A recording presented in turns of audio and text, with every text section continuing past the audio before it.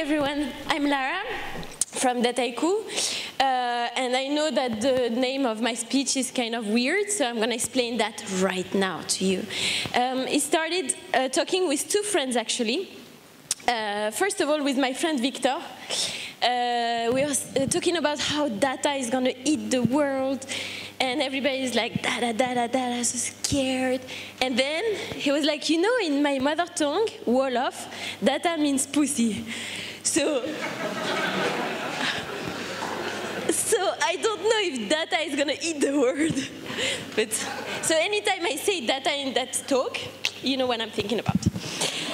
Then I was talking to my friend Norma. She's there on the left. She's hot, right?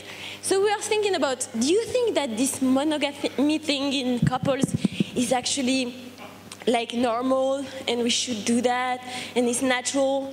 And you know what? We went on internet. It's not natural, guys. It's not natural at all. All the species, they want to create the best offspring, so they need to multiply the relationship with animals, with others, to have the best offspring. So it's not natural. But we live in society, we have some rules, we have to follow it if we don't want to have problems. So, but you don't necessarily have to do that in your job. Meaning, you know what, you know what coding is, right?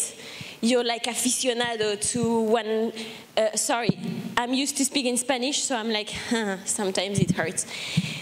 Uh, you're like, I want to do Python and R is the best and whatever. But then maybe you don't have to use like only one language to do your data science project. Why not? Efficiency alert. Because sometimes you need a piece of code that only exists in Python and you are working in R. What are you going to do? You're going to translate everything? Come on. You're not going to do that, right? So maybe you have a friend in your company that works with Python, you work with R, you work all together, and it's all beautiful. So you don't have to be a dictator in a data science project. You don't have to do that. You can be a polyglot. This is what the talk is about. So what I did is that I went to see all my friends, data scientists, and I was like, what language do you use to do what? Why is it good? Why not? Etc. In Spanish, it's more funny because with R you have paquetes. In paquetes, monogamy talks.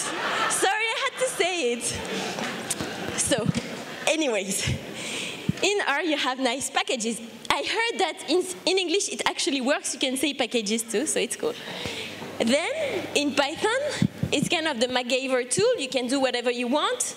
Uh, you can act uh, with the web. It really works well. So it's cool too. Python, good language. SQL. So you know data scientist, you have to prepare your data. In a data science project, it's like when you go to Ibiza.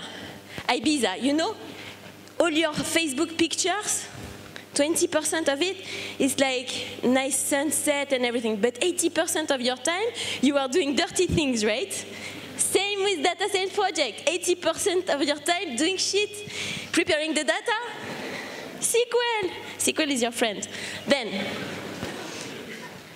Julia, MATLAB, when you started uh, at school, you know them, the one who continue to work in labor uh, laboratories, laboratories, rat labs. They know that one. And then Scala is my favorite, the hipster one. You know what is cool about Scala? Someone speaks Scala here? One, two, three, four, five.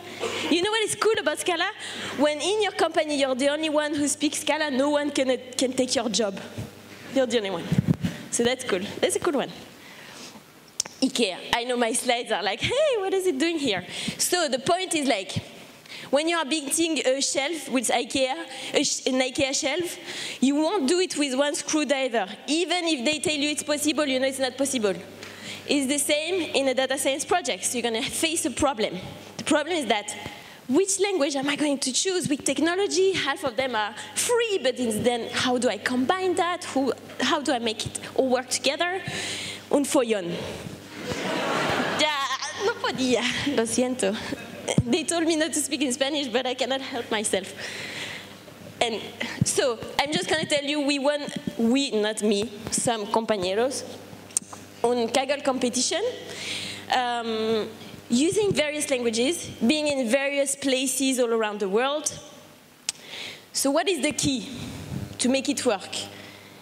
We're going to go back to our monogamy program. You know what is the problem with being monogamous?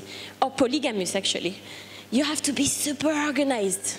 You have to have your ag agenda like, if you're not organized, fail. This is the problem when you want to cheat on your partner. It's the same in a data science project. Organization, collaboration. So, actually, in data, how many minutes, how much minutes do I have? One, two, three? Okay, I can chill. It's like I have two more slides. So,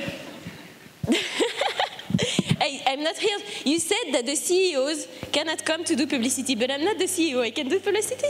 No, I'm joking, of course. Anyways, in Dataiku, we think it's possible to all work together.